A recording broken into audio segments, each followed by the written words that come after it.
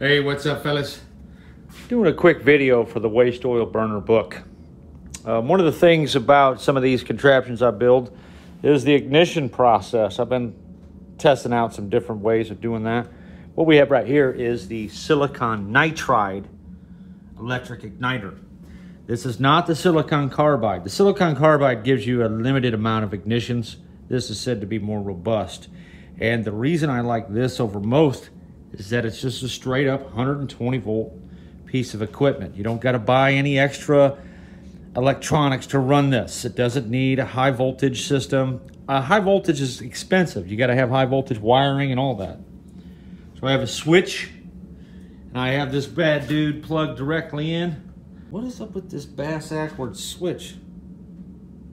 Oh, I see. I got you. It's rocks that way. Now it's on. So this is what we get. We're pushing about 212 amps, or pushing about 200 and some watts there. The wattage is going down as it gets hotter. I don't know how long this thing can handle this. I would imagine it wouldn't need much more than that. Kind of a neat little contraption. I could see a guy doing a lot with one of these. There are so many applications for something like this. And the fact that it's just straight up 120 volts, it's definitely going in the book. So today, we're gonna mount this bad dude on this jet engine combustion system. Not quite done building it yet. We have an ignition port on the top of this thing. So that pretty much concludes that. Just see it one more time, how much of a response time we've got here before this thing's igniting stuff. And I'd say about right there, we ought to be igniting some diesel fume. So this should be a lot hotter. I don't think this would be too good on waste oil and stuff like that. I don't know yet. This is probably going to get a bunch of crap built up on it. That's what I'm worried about is residue building up on there. That happens to the spark plugs too. It's almost like the coils are the best way to go. This is potassium hydroxide and sodium silicate. This is a pyro formula for the water glass. This is what they used at the Los Alamos Nuclear Laboratory when they were doing some work with uh, smelting plutonium and stuff like that. And this is one micron aluminum oxide powder and I'm making a high temp paste here and we're gonna glue this silicon nitride igniter onto this uh, stainless steel end cap.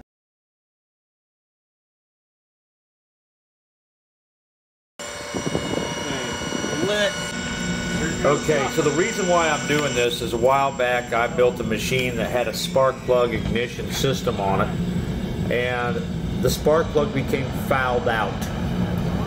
As we can see here, this thing lights the diesel fuel up very easily. I would presume it would do the same for waste oil. And the thing I like about the silicon nitride is the fact that if it does become fouled during use, all we got to do is burn the fouling off of there. This thing gets hot.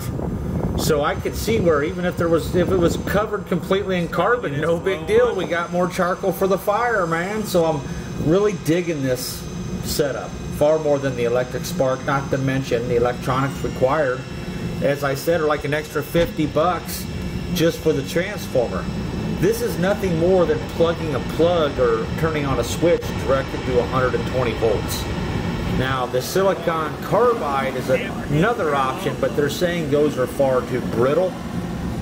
Uh, the reason why I'm not using the diesel engine glow plug is simple. They require 12 volts, so that's an extra piece of hardware. Silicon nitride so, I did order a couple of glow plugs for future experimentation, but I don't see myself using them. I'm trying to do this in a way that requires the least amount of parts. And I'm just like, man, look at that. We, we uh, pretty much uh, just need to put a delay off timer on this thing so no one forgets to turn it off. Here's on full blast. All those sparks that you see is just metal filings from the fabrication process being shot out of there. This, the fact that you can turn the blower up full blast and it don't go out, speed volumes, pretty impressed with that.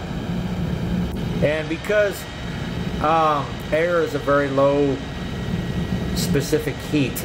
It's not a very good conveyor of energy. So you would want a blower that can produce a lot of hot air versus just a little bit. If you're using this thing to heat something up. So we're at about 255 psi's, 260 there.